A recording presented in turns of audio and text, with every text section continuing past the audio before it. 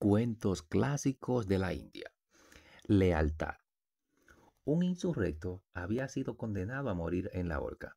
El hombre tenía a su madre viviendo en una lejana localidad y no quería dejar de despedirse de ella por este motivo. Hizo al rey la petición de que permitiese partir unos días para visitar a su madre. El monarca solo puso una condición, que un rehén ocupase su lugar mientras permanecía ausente y que en el supuesto de que no regresase, fuera ejecutado por él. El insurrecto recurrió a su mejor amigo y le pidió que ocupase su puesto. El rey dio un plazo de siete días para que el rehén fuera ejecutado si en ese tiempo no regresaba el condenado.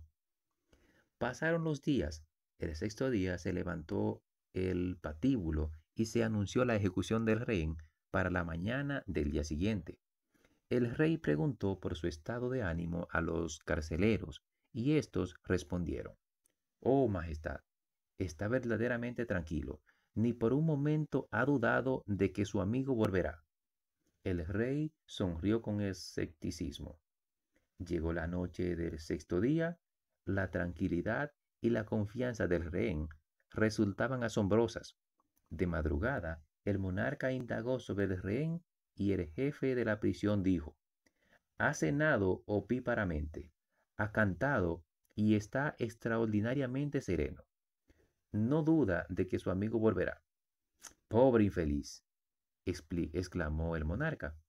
Llegó la hora prevista para la ejecución. Había comenzado a amanecer. El rehén fue conducido hasta el patíbulo. Estaba relajado y sonriente. El monarca se extrañó al comprobar la firmeza anímica del rey.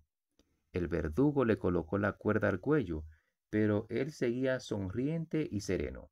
Justo cuando el rey iba a dar la orden para la ejecución, se escucharon los cascos de un caballo.